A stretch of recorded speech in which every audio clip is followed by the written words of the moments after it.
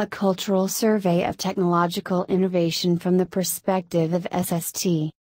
This article is written by three authors. First author Wang Rui. Second author Wang Zhou Yu. Last author Li Ping.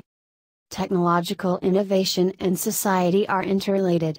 Therefore, only in the opposing and unified social practice to grasp the technological innovation, and only the technological innovation itself as a cultural practice to understand the process of technological innovation. In the perspective of the social shaping of technology, technological innovation is a cultural choice.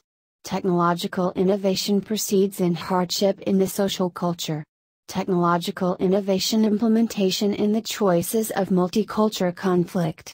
Guidance of technological innovation subject values for technological innovation behavior.